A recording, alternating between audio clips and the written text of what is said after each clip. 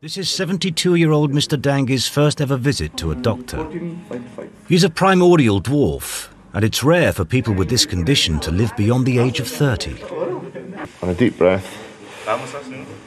Sit straight up. Very good. Very good. The final figure is 54.6 centimetres. Yes. Mr. Dangi is, uh, in fact, the world's shortest living man, uh, which is uh, a brand new Guinness World Record. So, congratulations.